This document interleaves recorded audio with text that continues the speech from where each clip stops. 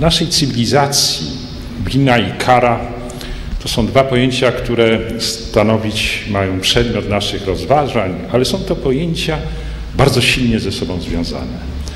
Można mówić wręcz o pewnym powiązaniu strukturalnym.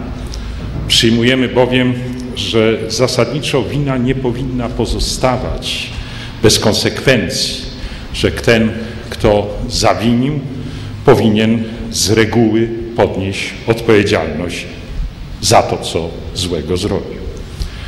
Poczucie naszej sprawiedliwości też wymaga, abyśmy winę kwitowali karą.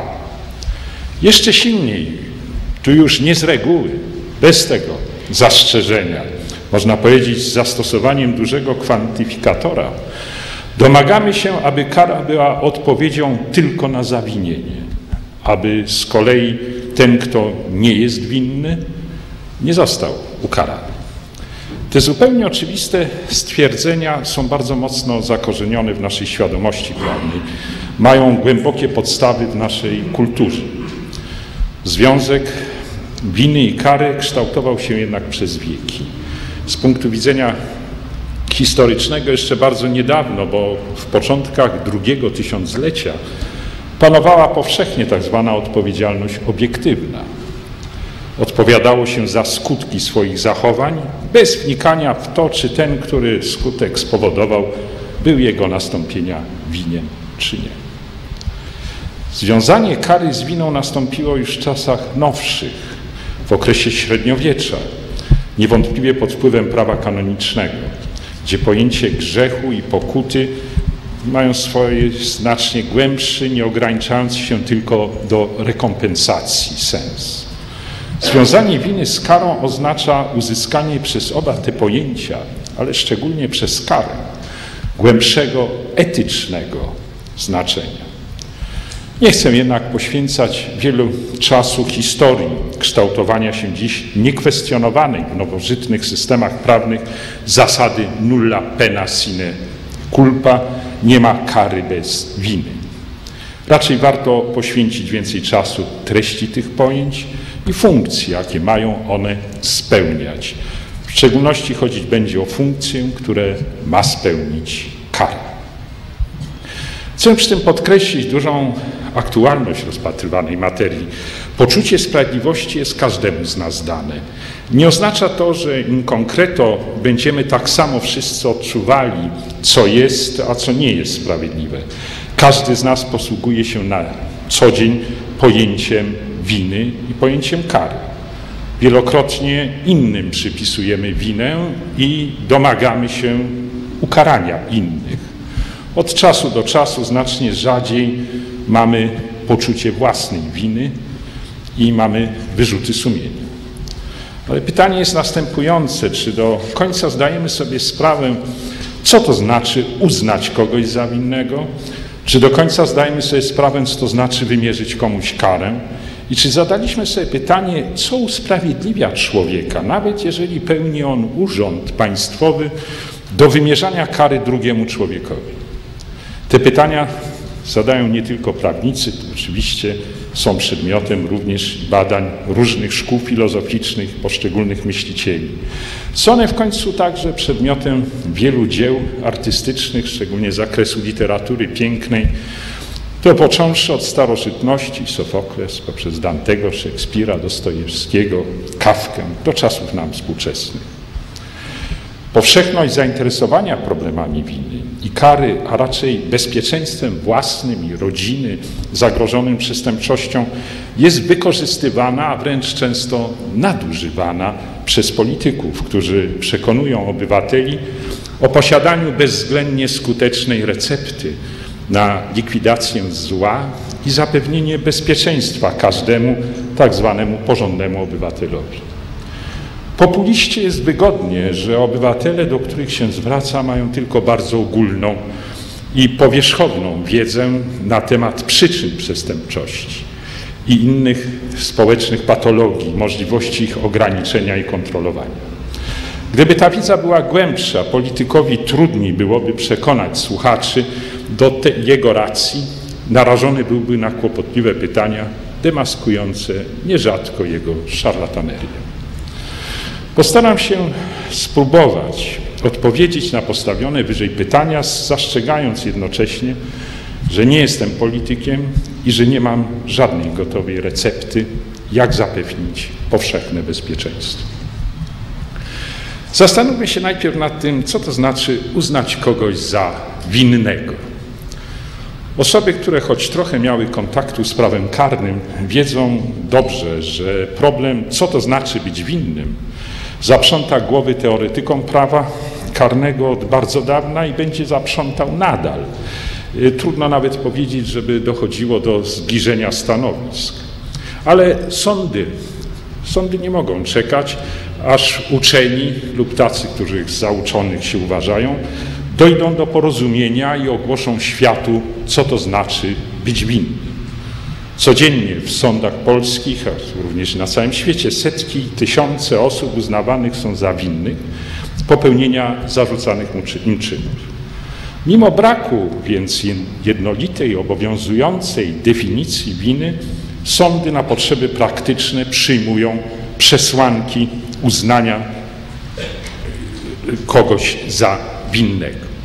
Nie znaczy to jednak, że podejmowane próby uzgodnienia stanowisk w sprawie istoty winy i warunków jej przypisania nie są celowe, czy żeby były zbyteczne. Brak takiego uzgodnienia stanowiska stwarza zagrożenie niejednolitej praktyki, daleko posuniętej arbitralności w orzekaniu. Każdy sąd, a właściwie każdy orzekający sędzia ma własne zdanie na te, ten temat, co jest istotą winy, jakie są przesłanki jej przypisania. Zagrożona jest więc podstawowa zasada demokratycznego państwa prawnego, mianowicie zasada równości, równego traktowania obywateli znajdujących się w takiej samej sytuacji.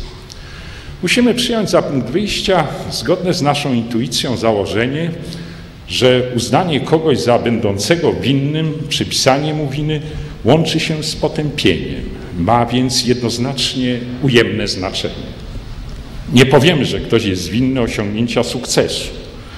Nie można powiedzieć, że inżynier jest winny wybudowania domu zgodnie z regułami sztuki i dobrze służącego jego mieszkańcom. Możemy powiedzieć, że inżynier jest winny wybudowania domu niezgodnie z zasadami sztuki budowlanej i w związku z tym pękania ścian w tym domu. Lekarz nie może być winien udanej operacji. Czyli o winie mówimy w relacji do czegoś ocenianego przez nas negatywnie. W mojej dyscyplinie, w prawie karnym, o winie mówimy jako warunku przyjęcia, że popełnione zostało przestępstwo. Sprawca jest winny popełnienia przestępstwa, a więc czynu zabronionego przez ustawę pod groźbą kary, dlatego, że atakuje ważne dla społeczeństwa lub dla jednostki dobra, będące nośnikami akceptowanych, akceptowanych przez nas wartości. Nie wdając się w historyczne rozważania, można dzisiaj stwierdzić, że podstawowy spór dotyczący istoty winy sprowadza się do dwóch podstawowych nurtów teoretycznych. Jedni twierdzą, że wina jest pewną zaszłością psychiczną, jest stosunkiem psychicznym do popełnionego przez sprawcę czynu i sprowadzić ją można do krótkiego stwierdzenia: ten jest winny, kto chciał zrobić coś złego. Z tym psychologicznym podejściem do istoty winy jest wiele problemów i pytań na które ta koncepcja ma podstawowe trudności z udzieleniem przekonywującej odpowiedzi. Nie da się bowiem wyjaśnić w oparciu o tak ujętą istotę zawinienia, dlaczego nie chcemy przypisać winy niepocztalnemu, który chciał zabić swojego sąsiada, uroiwszy sobie, że sąsiad ten jest niebezpiecznym wrogiem całej ludzkości. Niepocztalny może chcieć coś złego, a mimo to nie uznajemy go za winnego. Tak samo postąpimy z osobą, która znalazła się w stanie bezpośredniego zagrożenia swojego życia i chcąc się ratować, pozbawiła przysłowiowej ostatniej deski ratunku inną osobę, wiedząc, że tym samym skazuje ją nieuchronnie na śmierć. Powiemy jednak, że prawo w zasadzie nie może od człowieka wymagać bohaterstwa. Ktoś, kto poświęcił cudze życie, by ratować własne, nie zasługuje na pomnik może, ale też nie może zasłużyć na potępienie.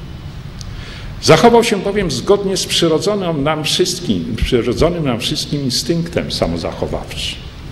W końcu musimy podnieść, że w dzisiejszych czasach, statystycznie rzecz biorąc, znacznie częściej przypisujemy winę osobie za popełnienie przestępstwa nieumyślnego, kiedy to sprawca właśnie nie chce zrobić nic złego.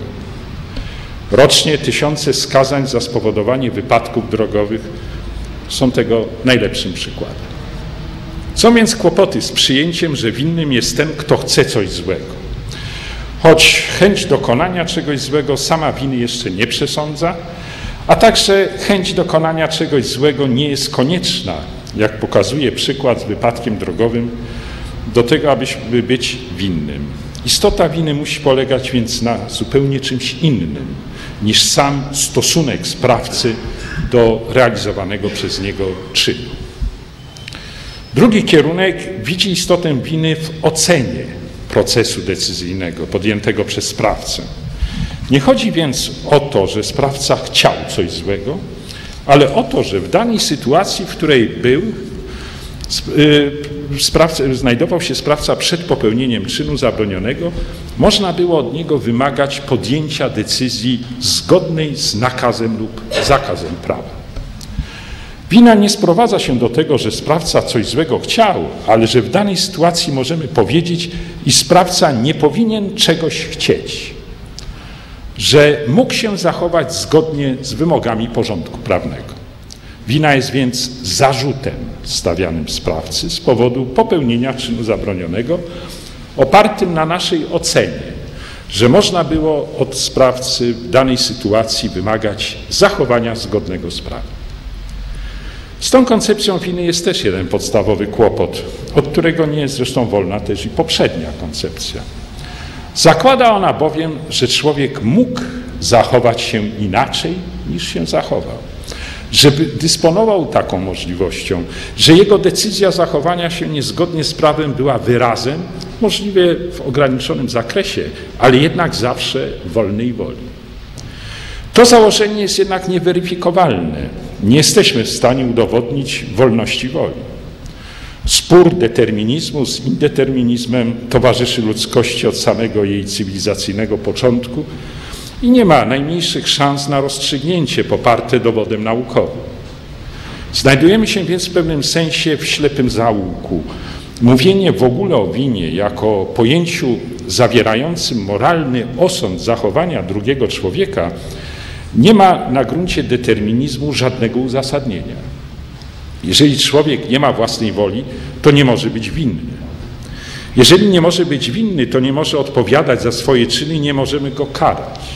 Byli i są nadal tacy, którzy wychodząc z założeń deterministycznych nie mówią o winie, tylko o niebezpieczeństwie sprawcy.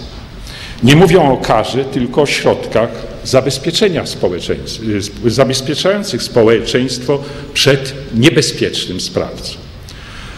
Prawo karne przestaje być wtedy w rzeczywistości karnym, a staje się prawem ochrony społecznej.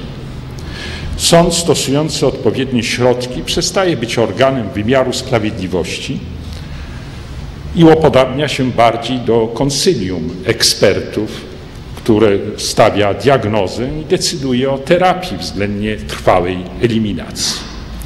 Nie ma żadnych podstaw, abyśmy sprawcę złego czynu mogli potępiać.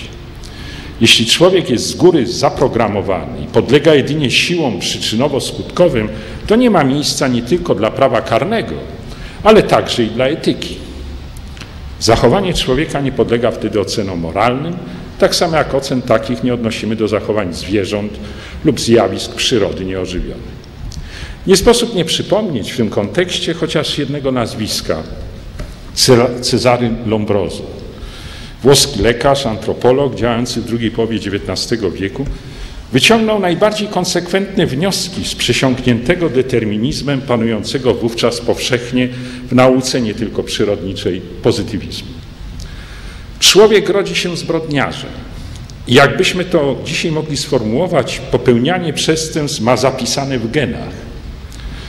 Lombroso uważał nawet, że na podstawie zewnętrznych cech antropologicznych, na przykład budowy czaszki, da się ustalić, że mamy do czynienia z takim urodzonym zbrodniarzem.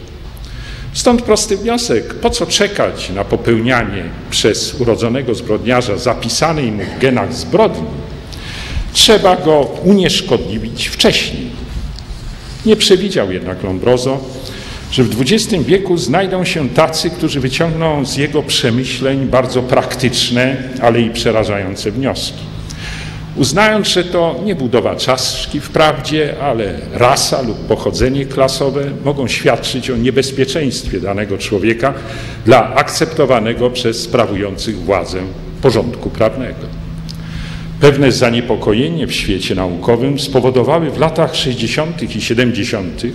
XX wieku wyniki badań angielskich, amerykańskich uczonych zajmujących się strukturą krwi, a w szczególności chromozomami. Okazało się bowiem, że statystyczne porównanie krwi sprawców brutalnych, agresywnych przestępstw z krwią ludzi z ulicy pokazuje istotne różnice. Wśród zbrodniarzy wielokrotnie częściej występowała nieprawidłowość w postaci dodatkowego chromozomu męskiego. Czy oznaczać to ma ożywienie koncepcji Lombrozy o urodzonym zbrodniarzu? Wniosek taki nie został uznany za trafny. Można zresztą podnieść, że ten dodatkowy chromozom może determinować pewne cechy charakteru, które mogą być społecznie dodatnie. Podejrzewa się, nie przeprowadzono w tym kierunku badań, a szkoda, że również wśród przywódców politycznych ilość osób z dodatkowym chromozomem męskim może się okazać znacząco odmienna od odnoszącej się do ogółu populacji.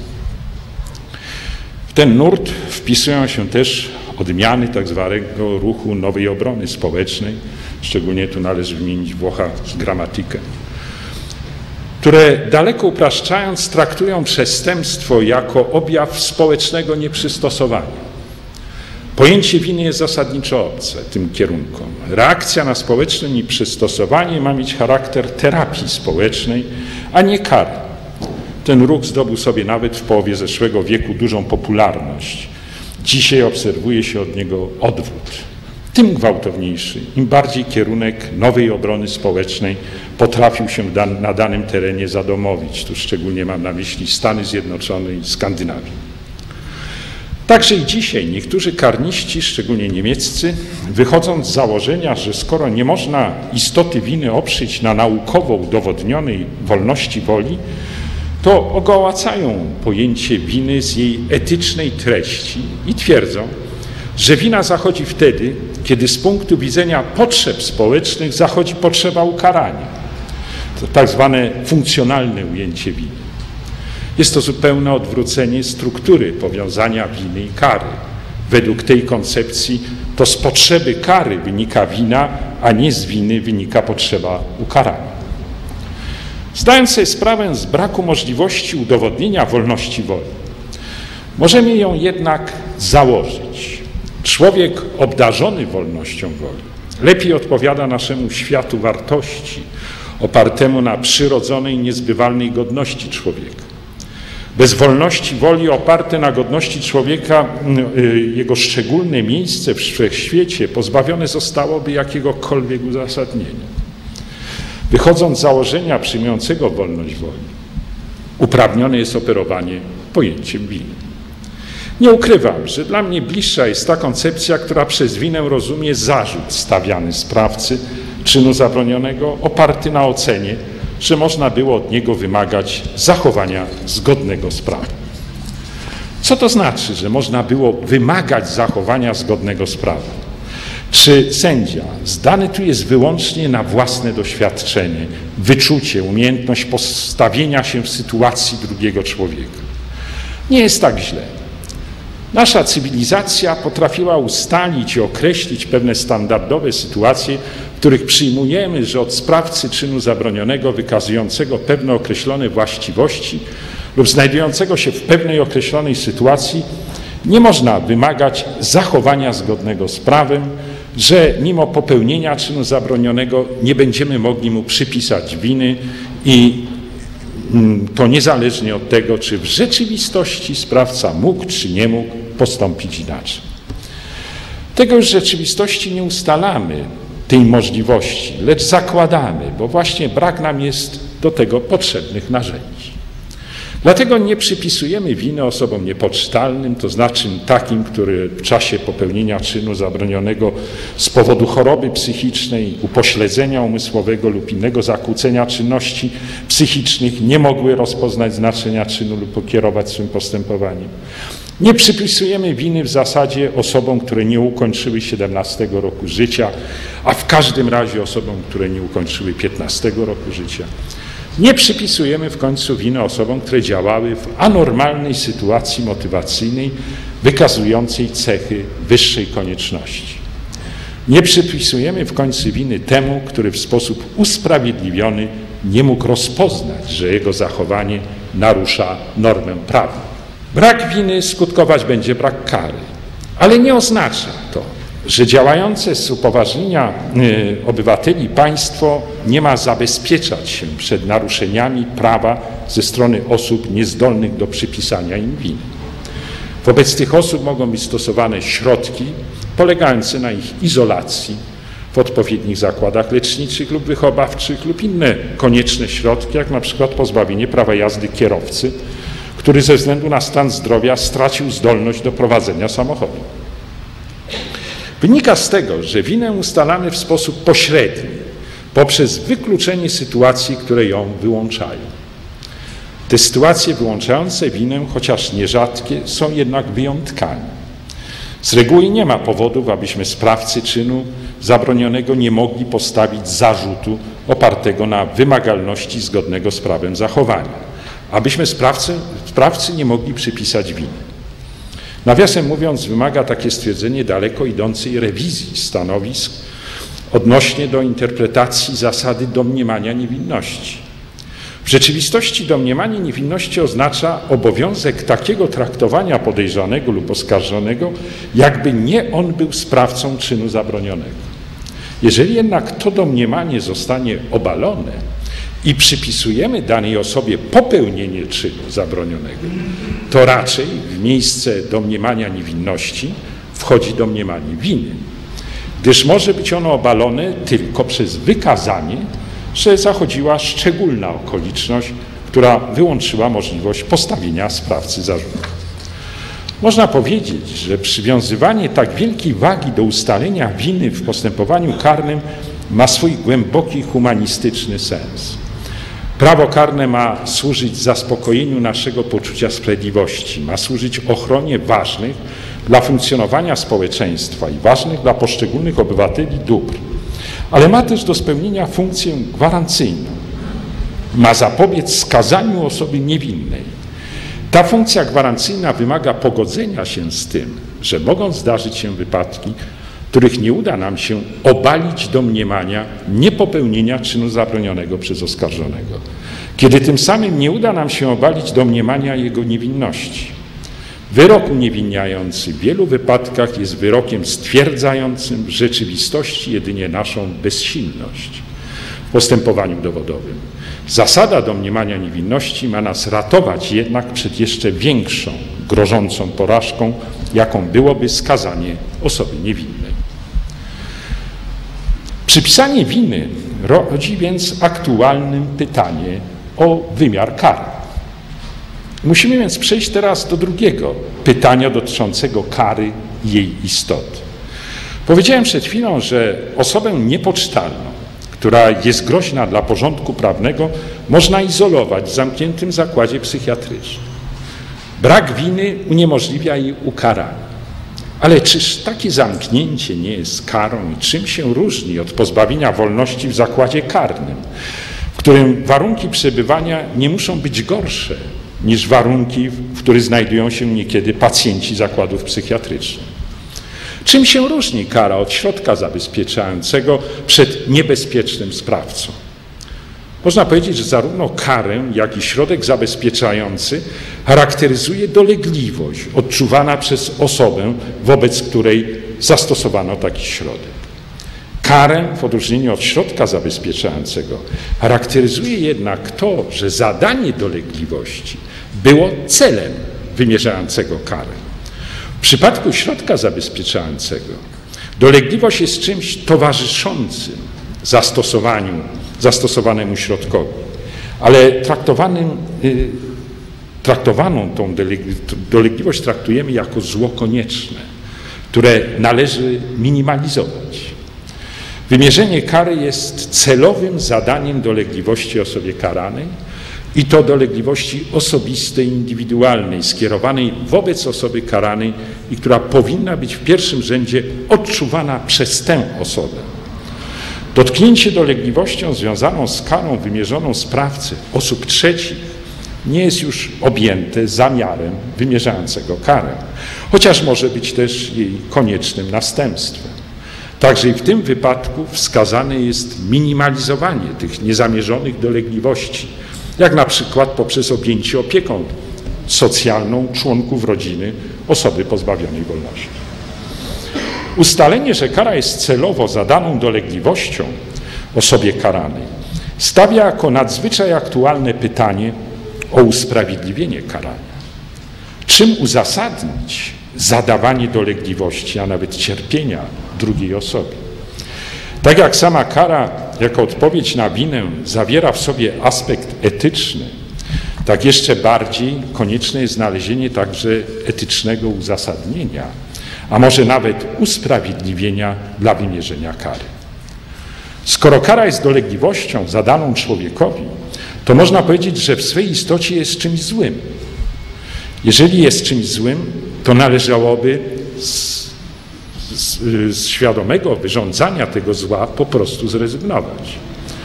Tak twierdzą nierzadcy, zarówno w historii, jak i współcześnie, przeciwnicy reagowania na przestępstwo za pomocą kary. Kiedyś Nietzsche powiedział, że kara bardziej brudzi niż przestępstwo, na które jest reakcją. Wielu autorów zajmujących się prawem karnym sprzeciwiało się stanowczo stosowaniu kar jako reakcji na przestępstwo. I to nie tylko kary śmierci. Ten kierunek, jak wiemy, znalazł szerokie uznanie także w postaci ustaw i dokumentów prawa międzynarodowego, ale przede wszystkim przeciwiali się stosowaniu kary pozbawienia wolności. Karę uznawano za niemoralną samą sobie, jako polegającą na zadawaniu cierpienia drugiemu człowiekowi. Nie można zdaniem przeciwników karania reagować na zło, jakim jest przestępstwo przez wyrządzanie innego zła. Tu bardzo angażował się Tolstoj w takie właśnie argumentowanie przeciwko karze. Zniewalanie drugiego człowieka przez wymierzanie mu kary jest działaniem przeciwko jego godności, która powinna być nienaruszalna. Tak, tak francuski uczony Varga. Nie jest specjalnie trudno odeprzeć te argumenty. Nawet jeżeli się uznaje, że kara jest złem, co nie musi być do końca stwierdzeniem trafnym, to i tak nie wyklucza to usprawiedliwienia karania poprzez wykazanie, że dzięki temu złu jesteśmy w stanie zapowiedzieć złu znacznie gorszemu. Do tych kwestii będzie nam wypadało jeszcze powrócić. Wymaga ustosunkowania się argument kwestionujący dopuszczalność karania ze względu na nienaruszalność godności człowieka. Wydaje mi się, że rzecz ma się dokładnie odwrotnie. Kara jest potwierdzeniem odpowiedzialności człowieka za jego czyny. Jest więc potwierdzeniem też jego wolności wynikającej z przyrodzonej godności. Właśnie rezygnując generalnie z karania, pomija w tym miejscu ocenę poszczególnych konkretnych wypadków, czynimy z człowieka istotę nieodpowiedzialną za swoje czyny i w ten sposób negujemy jego godność. W tym znaczeniu kara ma swój głęboki sens.